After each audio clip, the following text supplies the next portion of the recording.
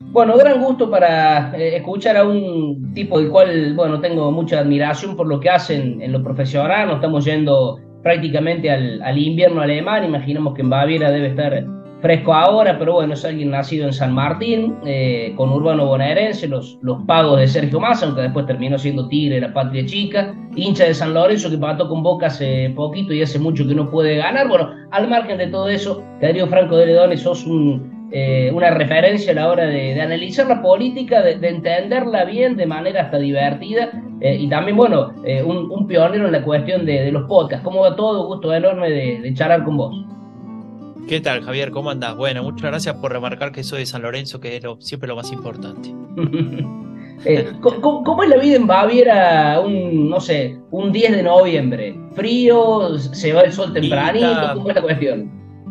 Mira, hace varios días que, el sol casi no sale, entonces eso cambia un montón. Además de que está fresco, pero a veces puede estar fresco, puede hacer mucho frío, pero si está el sol, no es lo mismo. Y hace varios días que no sale el sol, entonces es un poco poco duro en ese sentido, pero bueno, estamos bien. Ahora ya empiezan con las decoraciones de Navidad un poco temprano, pero bueno, ya empiezan a vender todas esas cosas. Así que empezamos a entrar en clima navideño poco a poco acá en Alemania. Eh, eh, ¿Estás imbuido en el mundo Bayern Múnich o hay alguna otra alternativa ahí eh, bávara de, de, fútbol y demás? Y yo me ocupo solamente de mi equipo del pueblo. Yo vivo en un pueblo muy chiquito de 9.000 personas tenemos un club de fútbol, va, tenemos, hay un club de fútbol y yo hace, después de la pandemia empecé a jugar ahí y nada, es mi, es mi club, porque la verdad que el fútbol alemán no me, nunca, hace 14 años que vivo acá y nunca me terminó de, de atrapar. Me gustaba al principio el Borussia Dortmund, que en esa época salía campeón y jugaba muy bien. Después, eh, hace 11 o 12 años que sale campeón el mismo equipo, que es bastante cansador y lo hace todo bastante aburrido. Y después eh, hay un club que me gusta, pero insisto, es simplemente, no sé, por, por, por interés así muy, muy leve, muy superficial, el Unión Berlín, porque me gusta su historia, ¿no? Es un club que es una de las pocas, pocos clubes que no es, eh, no tiene un dueño, digamos, tiene los dueños que son los, los propios socios, que hicieron una cosa ahí medio rara de comprarse, pero lo interesante es que tiene una historia así muy, muy fuerte, muy sufrida. Hubo un momento en el cual estaban a punto de entrar en quiebra. Esto era antes de que existan las redes sociales, ¿no? el, crowdfunding y qué sé yo. Y todos los, los socios fueron a donar sangre para que esa sangre después se venda y con esa plata paguen deudas. ¿no? Así que tiene una historia muy, muy potente. Sí, no, bueno, y, hay historias de, bueno, los clubes de, eh, del este que, bueno, algunos ya están medios extintos, aunque está esto de, de Leipzig, que no, no, tiene nada que ver con, con, sus orígenes y con Red Bull, pero bueno, sí tenemos el ejemplo de San Pauli, por ejemplo, ¿no? En, Hamburgo, que, que, son unos locos que hacen algo más o menos parecido que una historia bárbara, ¿no? Sí, sí, el San Pauli, pero bueno, ese es en el, en el oeste ya. Y sí, bueno, son clubes que, que la van luchando, ¿no? El resto son grandes, grandes clubes con mucho poder, mucho dinero. El Bayern München es una cosa impresionante. Eh, compra todos los cualquier jugador que más o menos destaque en cualquier club lo compra por las dudas, muchas veces ni lo usa. Y bueno, así es como está desequilibrado completamente. Eh, y bueno, no creo que sean el único país que pasa, ¿no? Pero, pero bueno, eso lo hace bastante aburrido. Y si no tenés ningún tipo de relación personal, de identificación personal, digamos, como me puede pasar a mí con San Lorenzo, y a cualquiera con el club en el cual, del cual se hizo hincha de chico, es muy difícil tener ganas de eh, usar tu tiempo, que ya es poco, que ya está limitado, que ya lo usas para mil otras cosas, en ver un partido de fútbol. Por eso digo que me ocupo más de mi club, donde yo juego con los viejos, porque tengo más de 35, entonces ahí fuimos a parar directo a los viejos. Y la pasamos bien, jugás, y después haces un grupo de personas, y eso está, está bueno pertenecer. Seguro. Eh, uno te escucha ver Franco en alemán y, bueno, para decir que sos un, alemán eh, natural, ¿no? Porque eh, tenés una, una corrección. ¿Cómo llegas a Alemania? Digo, de la Universidad de San Martín, de comunicación, ¿cómo, cómo llegas a Alemania? ¿Cómo, se da ese vínculo? En realidad yo estudié en la Universidad de La Matanza y con San Martín tengo una muy buena relación y de hecho estuve hace pocas semanas, pocos días, de hecho estuve hasta el lunes estuve en Argentina. Eh, fui dos semanas. Y y el viaje a Alemania se da por, por mi relación con, con mi esposa, que es alemana, básicamente. O sea, yo eh, vivía en Argentina, la conocí en algún viaje ahí en Córdoba, de hecho, en Córdoba capital, de, en estos, estos viajes así de medio de vacaciones. Y, y, nada, y ahí entramos en contacto y bueno, en algún momento se dio de que, de que empezamos a estar juntos. Vivimos en Argentina un tiempo, después fui a estudiar a España, ahí también vivimos juntos en Madrid dos años y, ahí en Madrid nos dimos cuenta que tal vez era mejor estar o en un país o en otro y no en un tercer país. Se hace bastante difícil integrarse. No es fácil ser migrante en ningún lado. Puede tener ventajas, pero tiene muchas desventajas y, es difícil, ¿no? Eh, estar en otro lugar que no es en donde uno creció y donde uno se socializó. Y dijimos, bueno, o vivimos en Alemania o vivimos en Argentina, pero, pero en un tercer país se hace muy difícil. Y ahí era la época en la cual Berlín todavía era un poco más barato y sigue siendo lindo, pero en ese momento también lo era. Y nos fuimos a vivir a Berlín y ahí empecé mi, mi vida en Alemania. Sabía bastante poco alemán, había hecho algunos cursos, pero cuando llegas al lugar en el que habla en el que se habla el idioma que aprendiste te das cuenta que no aprendiste nada porque claro todo bastante más difícil de lo que uno se imagina y después nada con el tiempo trabajando ahí y demás eh, el, idioma fluye, ¿no? Entonces cuando podés entender el canto, el ritmo, cómo suena, eh, la música, el idioma, ahí viene toda la parte de la gramática. Y ahí es donde das el verdadero salto para poder hablar el idioma y sentirte cómodo ¿no? con eso y no tener miedo de, uh, voy a decir algo desubicado delante de toda esta gente y demás, que siempre esos, esos miedos de los que hay que liberarse para efectivamente poder, poder hablar el idioma y comunicarse con, en, los términos de lo que uno quiere, ¿no? También. Y eso es, eso es un cambio gigante. Cuando uno es migrante y logra eso, realmente eh, se, hace, se hace bastante más fácil, ¿no? Vivir en otro lugar.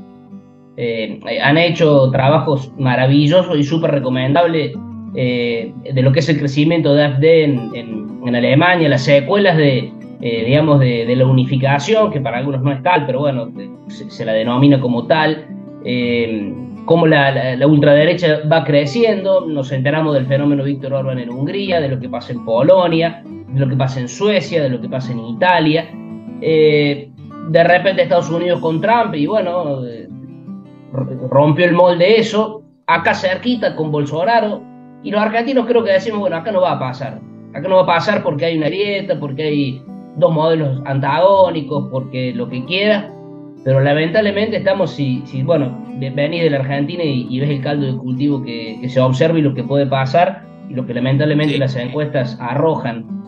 ¿Te lo vayas a venir este fenómeno Milei así, con esta fuerza, digo, como, como analista político y especialista? No necesariamente. Yo lo que veía era que, este fenómeno era un fenómeno global, que se trataba Mm, digamos, si bien el contenido puede variar o el tipo de comunicación tal vez puede tener alguna que otra diferencia, o incluso el contexto de cada país genera variaciones, el fenómeno sigue siendo global, ¿no? Entonces vos lo tenías eh, en un país, como vos mencionabas, ¿no? En un país como Brasil, un país grande, con una economía grande, eh, y apareció un outsider, no una persona como Bolsonaro, que era un político de hace muchos años, pero absolutamente marginal y se convierte en, la persona más votada, ¿no? Y al mismo tiempo pasó y pasa en muchos países de, Europa. De hecho, ahora, por ejemplo, en Italia gobierna Giorgia Meloni, que claramente eh, del residuo del, fascismo italiano, con todas las letras. Em, y pasó en, la, en lo que se suele autodenominar la democracia más importante del mundo, que sería Estados Unidos, ¿no? Con Donald Trump, que, llega al poder pese a que todos pensaban que no iba a pasar y demás. Entonces, Así como pasó Trump, así como pasó Bolsonaro, así como pasó el Brexit, por ejemplo, que también todo el mundo decía que no iba a pasar, ¿por qué no va a pasar en Argentina? ¿no? Y, si bien es cierto que, que mi ley, como está ahora, digamos, con las chances que tiene ahora, no, no era tal, eh, sí yo pensaba que, bueno, por, ¿cuáles son las situaciones que, que en Argentina se pueden llegar a, a a, digamos, qué constelación de factores se pueden llegar a dar para que, para que aparezca eso, ¿no? Y había algunas cuestiones, ¿no? Alguna decepción con la política, la cuestión económica que siempre influye, la cuestión sociocultural que penetra también en las discusiones políticas y demás. Y tal vez eh, aparecían estos partidos que competían, ¿no? Eh, por un lado el, el macrismo con, con, sus diferentes denominaciones que tuvo a lo largo del tiempo y por otro lado el peronismo o el kirchnerismo que después fue cambiando y bueno, son todas las cuestiones que vos ya sabés que no hace falta profundizar y de alguna manera había una especie de competencia entre dos modelos de país. En algún punto pareciera que esas dos competencias llegaban a, fracasar o a un límite o a una decepción por parte de diferentes electorados y ahí es donde siempre se abre el juego a esa marginalidad, ¿no? a ese sector más por fuera de la política y bueno, Javier Milei creo que estaba en el lugar correcto en el momento indicado y aprovechó esa oportunidad, creo que también no es que él la haya visto, sino que la aprovechó, ¿no? Y, y, bueno, y ahora tenemos el resultado de muchos medios de comunicación generando narrativas que apoyan este tipo de, respuestas políticas a, a, todos estos conflictos. Eh, y tenemos una situación en la cual también cuesta transmitir a, a, las nuevas generaciones, pero también a generaciones que hace mucho tiempo que votan, que están cansadas y con, razón del hartazgo de, de, diferentes situaciones que no se resuelven y cuesta transmitir que esto que aparece acá esté incluso peor que lo que, lo que te hartó, ¿no? Yo estoy convencido de eso, de que es peor, pero es difícil de comunicarlo, ¿no? Y en ese caso Argentina se transforma en un país más eh, de muchos otros que, en los cuales apareció esta, esta respuesta política a, la crisis, ¿no?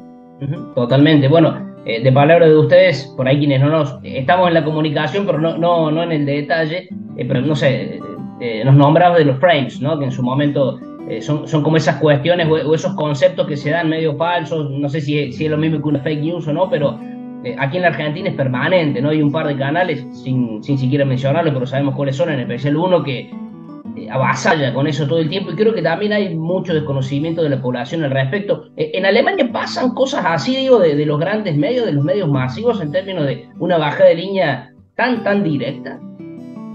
Sí, hay, hay medios grandes, los privados especialmente, eh, no todos, pero hay algunos que tienen una, línea política muy clara, ¿no? Eh, me cuesta decir que apoyen a una formación de ultraderecha porque no lo hacen, pero sí que tienen narrativas similares.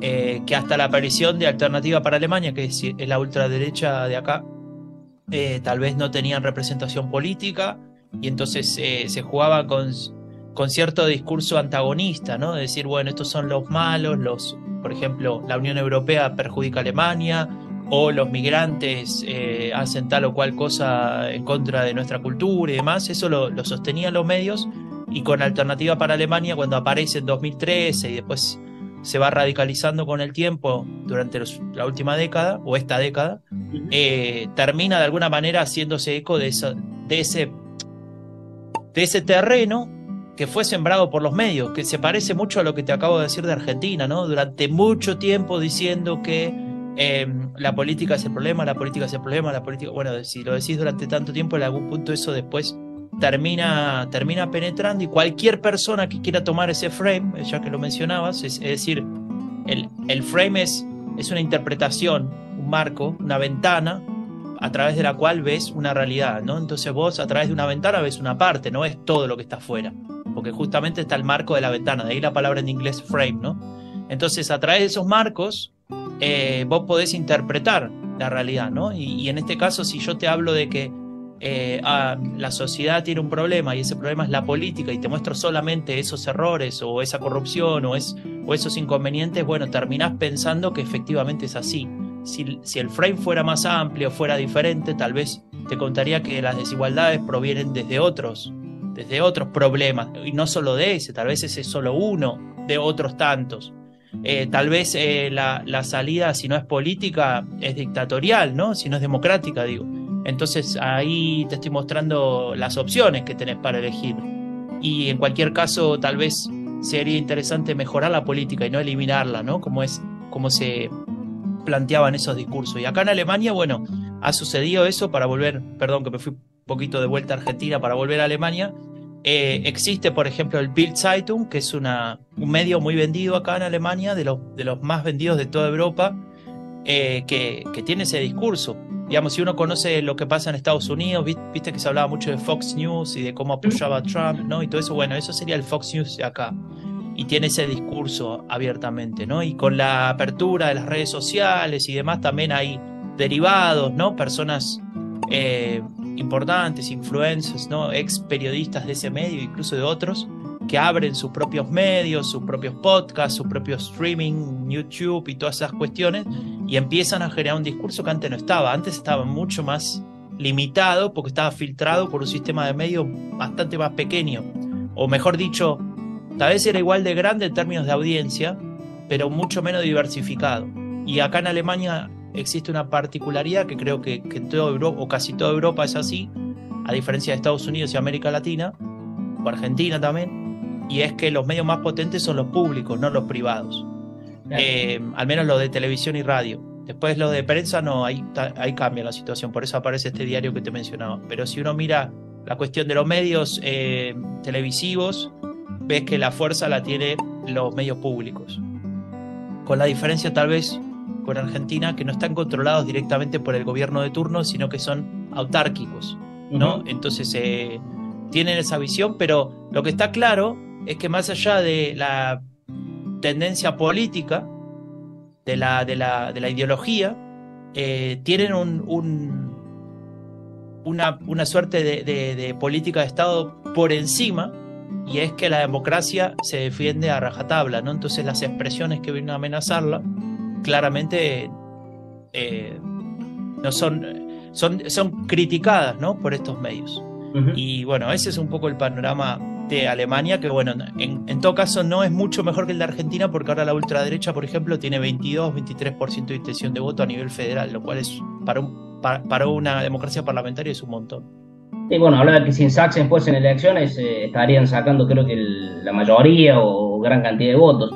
Eh, Franco, que pensaba que, bueno, allá se, cumple, se cumplieron los 34 años de la caída del muro, eh, suponiendo que eh, estamos en el 89 y tenemos esta tecnología para comunicarnos y está todo en plena ebullición y yo te preguntaría qué está pasando, ¿qué me dirías? ¿Cómo, ¿Cómo, imaginas un día como ayer o como hoy, 34 años atrás? En Baviera, bueno, no es Berlín, pero, pero en el país, digo, ¿cómo, cómo, cómo te traspolas con todo lo que pasó? Bueno, eso era para mucha gente una gran sorpresa, mucha gente ni lo esperaba, especialmente en el oeste, no tenían ni idea de lo que estaba pasando. Eh, Creo que en el este tampoco se esperaba que sea una, una cuestión así tan drástica, tan, tan veloz, esta, esta caída del muro y después la posterior reunificación tiempo después. Eh, creo que para muchos era en principio una, una, alegría porque aumentaban las expectativas de, especialmente en el este, ¿no? de estar mejor, de, de, tener otra, otra perspectiva, de liberarse de una policía secreta que los vigilaba, de un Estado que no les permitía expresar sus opiniones, bueno, etcétera, etcétera, de aumentar la calidad de vida, pero al mismo tiempo también había cierta incertidumbre de, bueno, ¿qué vamos a hacer? ¿Cómo vamos a estar juntos? Especialmente después de que pasaba un poco el tiempo y se daban cuenta las diferencias que tal vez existían, los problemas tan profundos que existían. Y, me parece que ahí sí generó una cierta discusión interna de identidad, ¿no? De quiénes somos los alemanes o cómo queremos construir la identidad alemana y ahí es donde se veía claramente esas diferencias, ¿no? Y que no vienen solamente tal vez de la constitución de la RDA y de la República Federal Alemana después de la guerra, sino que viene desde antes, porque son regiones que si bien estuvieron unidas en, determinados momentos de la historia, son regiones culturalmente diferentes. Eh, te digo, yéndonos incluso hasta la época de los romanos, ¿no? Donde, donde la, la influencia romana llegó hasta un sector que, tiene que ver con, la, línea del Limes y hasta el Elba, que sería la, el río, ¿no? Que empieza, digamos, que desemboca en Hamburgo y que baja, eh, o que va hacia el sur. Em, esa diferencia cultural es bastante importante, ¿no? Entonces también ahí eso se reflejaba, me imagino, en, este reencuentro. Y también en la cuestión política, ¿no? Porque claramente en algún punto se empieza a hablar de recursos, de quién administra qué, de qué pasa con las empresas del Estado, que eran en la RDA que eran del Estado, de cómo se va a reorganizar eh, el sistema de élites, por ejemplo. Eh, y ahí es donde vemos que muchas de, las, de los problemas eh, en ese momento se transformaron en desigualdades de largo plazo. Y hoy tenemos, hoy en día, 34 años después, tenemos que situaciones en las cuales por el mismo trabajo, el mismo desempeño, la misma categoría, las mismas habilidades, un trabajador gana el 20% menos en el este que en el oeste. o por ejemplo que todas las posiciones de élite, hasta arriba del 95% en cualquier ámbito, el ámbito universitario, en los hospitales, en la política, en las empresas, en cualquier ámbito está ocupado eh, muy mayoritariamente por personas del oeste. Entonces ahí esas, esas desigualdades generan cierto resentimiento, frustración también, y, eso es lo que vemos en Alemania eh, claramente como, como uno de los problemas más importantes del país, y en algunos casos funcionó también como terreno fértil para que un partido de ultraderecha pudiera, pudiera pisar fuerte y, y conseguir apoyo, ¿no? un poco parecido a lo que escuchamos en Argentina, de, decir, bueno, si todo está tan mal hace treinta y pico de años y, nadie me dice nada y todos los partidos fracasaron o no los quiero o no sé qué, bueno, voto a esto, a ver qué pasa. Incluso aunque demostrado y leas y veas que, pueden estar en contra de tus intereses, ¿no? Por las decisiones políticas que puedan llegar a tomar, eh, hay gente que dice, bueno, prefiero que huele todo y después vemos. Y ese es un problema, porque así no se arreglan las cosas, así se destruyen las cosas. Totalmente. El último, eh, y agradeciéndote un montón, vos sabés que, bueno, el, hoy presidente, gobernador Schiaretti y gobernador entrante Martín Yarlor hablan mucho de lo público y lo privado y utilizan una frase de tanto Estado como sea necesario eh, o tanto mercado como sea posible, que es de Billy Brandt. Eh, y esto lo ato con el capítulo que hace el anónimo Doctor Fausto, ¿no? que para mí es de lo mejor, de lo, más, de lo que más me ha interesado y me ha gustado de, de, lo que han podido hacer y uno descubre personajes, bueno, Adenauer, Enhard como el padre del milagro económico alemán en, lo económico justamente. Eh, ¿Tenés preferencia por algún tipo de esos de antaño? Decís, ah, pucha, eh, qué bueno, no sé, me gustaría estudiar a Helmut Kohl, me gustaría estudiar a Adenauer o a Hennecker. Eh, ¿Hay alguno de esos que te genere como, como, mucha curiosidad? Yo creo que, que todos tienen un, algo que me llama mucho la atención, ¿no? Todo como, como personaje. O sea, viéndolo, acá tengo una ventaja. Eh, los veo a la distancia, primero temporal, porque el primero que mencionás que me interesaría sería Helmut Kohl y terminó de gobernar en el 98. Incluso, incluso el propio Schröder del SPD estaría bueno conocerlo un poco más y demás, pero a lo que voy es tengo esa ventaja de mirarlo a la distancia, entonces, digamos, me, salvo de tener eh, una posición más, si querés, eh, más sesgada. Y al mismo tiempo, eh, al, ser, al no ser, o mejor dicho, al no haber nacido acá, también te libera de cierto ego, de condicionamiento que te puede haber dado tu familia y demás, ¿no? Eh, y entonces ahí sí, yo te diría, tampoco hubo tantos cancilleres, ¿no? Pensá que la República Federal Alemana empieza en el 49. Entonces tenés a Adenauer, que es el padre de, la, de la democracia alemana y que con todos sus errores que se le puede adjudicar y todas las críticas, claramente construyó un país de la nada, de la guerra, de las cenizas, y lo convirtió en, la, en una de las pocas cinco o seis potencias mundiales, ¿no? En todo sentido. Entonces, bueno, ese, ese es una persona muy, muy interesante eh, desde ya. Eh, bueno, vos nombraste un par, pero uno de los que más me interesa a mí es Helmut Schmidt, que tal vez es menos conocido, que fue canciller de, las, de los socialdemócratas junto con los liberales que fue, por ejemplo, el que negoció el ingreso a la OTAN, ¿no? Había un montón de cuestiones muy complicadas que, que tenía en contra su propio partido en alguna de esas decisiones. Y es muy interesante ver cómo un líder logra acomodarse en esas situaciones tan difíciles, porque lo normal es que te ataque la oposición, ¿no? El partido enfrente. Pero cuando, cuando el lío lo tenés adentro, ahí demostrás tu capacidad de liderazgo o no, o lo, o lo perdés. Y ese es otro de, de los líderes también que tal vez estaría bueno conocer más, incluso, incluso en Argentina. Totalmente. Eh, bueno, Franco, la verdad que eh, he disfrutado un montón la, entrevista, esto de charlar. Podría hacerlo mucho más, pero te voy a robar mucho tiempo. No te digo que me siento extasiado como vos con el gol del Gallego González en, en Rosero en el 95, pero algo más o menos parecido. Así que combinando un poquito de todo, la verdad que está muy bueno. Y bueno, te súper agradezco. Recórdame y recórdanos de paso, esto lo voy a subir a mi canal, eh, eh, ¿qué es lo que estás haciendo ahora? Porque has sacado un trabajito, se, está recién salido del horno en Spotify. ¿Y dónde más te podemos encontrar con, con todos tus podcasts políticos, lo que has hecho y demás? Mira, te voy a decir tres cosas, lo más breve que pueda. La primera que tiene que ver con todo lo que venimos hablando. en Epidemia Ultra junto con, con, una organización alemana que se llama Werkstatt für Forum, eh, y, eh, sacamos la, la, segunda edición de un seminario que trata del pensamiento político de las ultraderechas, es decir, intentar entender en, en, qué se basan las narrativas, lo que dicen estos líderes ahora. Bueno, eso viene de, historias de, hace más de, 100 años, ¿no? Entonces lo que hacemos es un poco recorrer desde allá atrás, pero hasta hoy, eh, diferentes elementos importantes. Tenemos cinco, cinco invitadas, invitados, que la verdad que vale mucho la pena. Es gratis y se pueden anotar, entran en Epidemia Ultra, buscan el seminario y se pueden anotar y empieza el martes que viene. Son cinco martes eh, y empezamos este que viene. Esa es una cosa. Va a haber de hecho algún episodio exclusivo de Epidemia Ultra que voy a hacer para ese seminario. Después la segunda cosa eh, es un podcast eh, que se llama Coronados de Gloria, que lo hicimos con Janina Welp.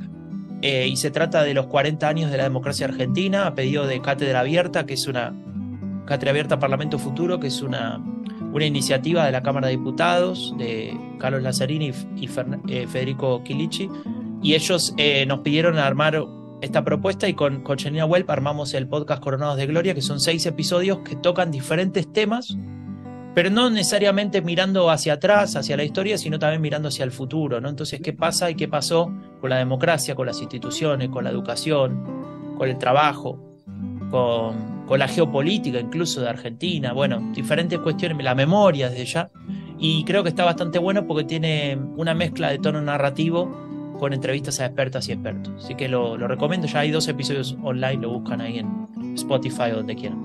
Y lo último, un podcast, también otro más, que, bueno, se juntaron los lanzamientos, pero, pero no por ello eh, es menos importante, y es uno que se llama ¿Por qué firmé con nombre de hombre?